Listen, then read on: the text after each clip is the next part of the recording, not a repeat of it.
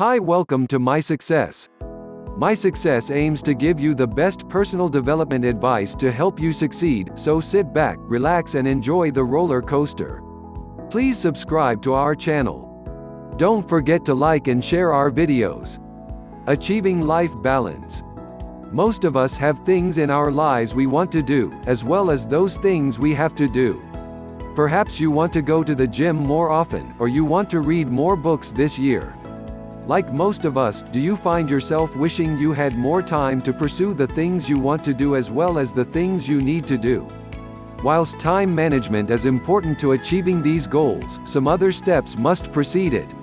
As you define these steps, preferably using a journal to keep track of what you discover about yourself, they will help you achieve that work and life balance that will enable you to do those things you want to do and achieve at this point in your life. 1. List your goals. All of us have goals that change regularly and that reflect other things going on in our life at the time. List your goals and prioritize them from important to least important. Include not only the goals you have to achieve, but also the personal goals you want to achieve. 2. List your daily schedule. Although we want more time in the day, all of us have 24 hours. We use some of these hours for sleep and some of these for work and recreation purposes.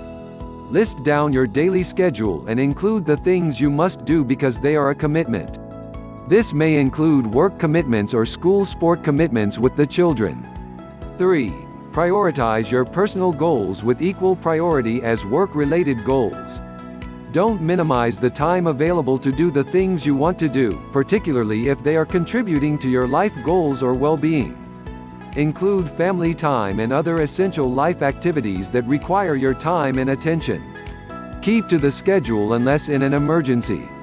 Most people who create a daily schedule, keep to it for a while, but not long enough for it to become a habit. Habits take around three weeks to form, so if you want your new approach to work and lifestyle to be maintained, you must protect it at all costs. If you want to achieve your own personal goals, you must protect them at all costs. Eventually, the changes you implement will become second nature, but until then, you need to stay in control of your time management. Thank you so much for watching our videos. Look at the description box below for our best product recommendation. We hope you enjoyed the video and found it very informative. My Success has a vision to help you grow and succeed in all aspects of life.